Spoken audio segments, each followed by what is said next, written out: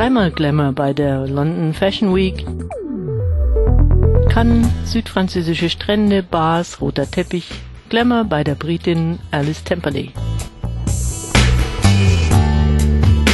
Meine Muse ist nicht immer in meinem Büro, manchmal auch am Strand oder am Pool.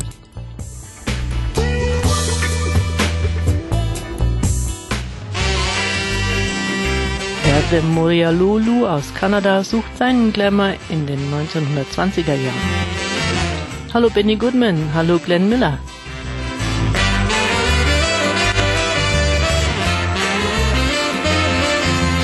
Und schließlich Glamour Made in Italy bei Donatella Versace. Musikalisch hat es die Designerin immerhin zu einem Titel von Lady Gaga gebracht.